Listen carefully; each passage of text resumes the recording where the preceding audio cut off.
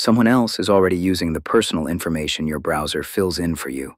This doesn't trip alarms because nothing is being brute forced or broken. You keep browsing, forms keep autofilling, and the leak stays invisible. Here's how it happens. A small info stealer runs once. It copies your browser's autofill data, names, addresses, emails, phone numbers, saved cards.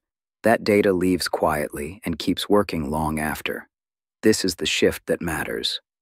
Autofill data is more valuable than passwords now. It's cheap to collect, easy to reuse, and sold in bulk because it passes identity checks automatically. From there, the fallout feels confusing. Accounts get recovered without logins. Fraud systems don't block it. Support tickets succeed because the details match.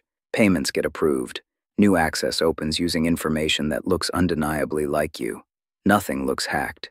You just stop being the only person who knows who you are. Assume the details your browser remembers are no longer private.